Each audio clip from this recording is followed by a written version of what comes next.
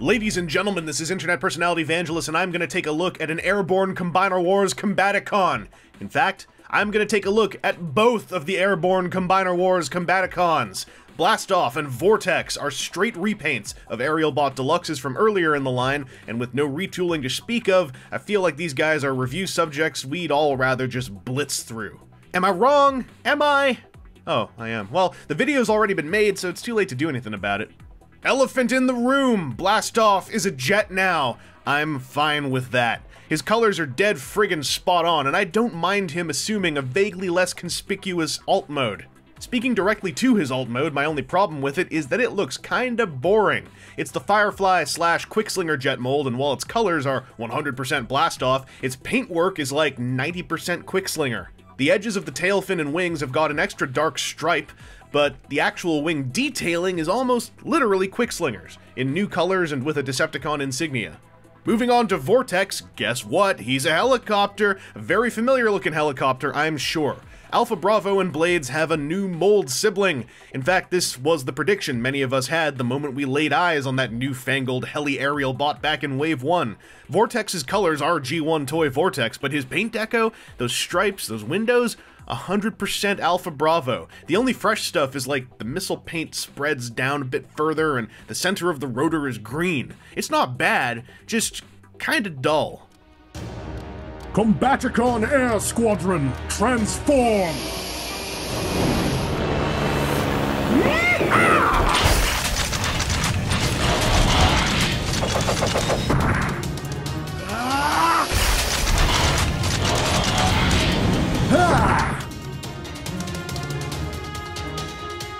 Okay, Blast Off robot time. His colors are beefed up with a big swack of G1 Toyetic purple, with the bonus of his combiner peg being color matched to give the appearance of a solid chest plate. Downside is, his paint apps are still, for the most part, quickslingers, and worst of all, so is his head. If this guy had gotten Firefly's head, I think the illusion would have totally worked, but now, no faceplate just kills it. I mean, he has a faceplate paint app, but it looks like he's going through a life phase and decided to shave his head and chin. Also, the brown plastic between his legs and torso makes it look like he's wearing little chocolate shorts. By the way, while clean-shaven Blast Off's accessories are just fireflies and quickslingers, his flamethrower has got an extra coat of dark gunmetal paint, just like his fists and... mouth. Now, despite being a straight redeco as well, Vortex carries it so much more effectively than his aerial teammate. Most of this comes from his chest, which has a hardcore G1 toyetic combination of purple, yellow, and red. It's a small thing, yet it is so very key. What's less key are Vortex's hips, which, much like Blast Off's, look like a weird little pair of shorts. His head is badass though, looking like the destined role for that sculpt all along, with its blazing red visor surrounded by on-topic turquoise.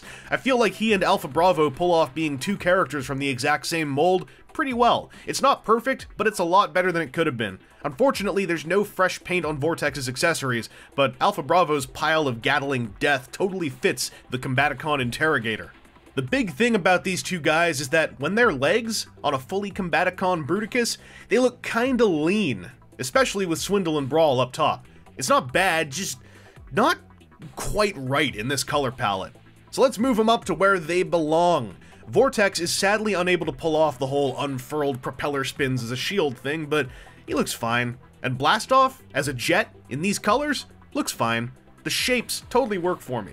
Like the nose cone jutting up is so much of a throwback to the shuttle nose cone jutting up, this makes a pretty good case for the toy, especially since the head is no longer visible.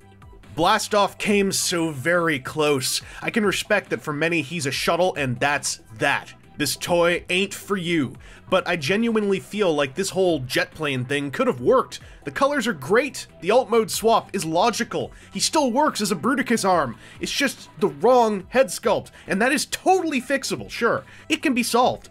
But at that point, once you're buying add-on stuff, it certainly draws close to the line that makes one wonder if they should just look to the Unite Warriors gift set. However, that thing is cartoon colors, and guys like Vortex, his Combiner Wars deco is a lovely throwback to the G1 toy. Is he Alpha Bravo in new colors? Absolutely! Or maybe it's the other way around, who knows? But this is a workable and survivable take on the character. Anyway, this has been Internet Personality Vangelus, and those were the Airborne Combaticons. Fresher toolings imminently await, but I may return to at least one of these guys down the road if I ever pick up a spare face-plated head. Or, you know, steal all of Blast Off's razors.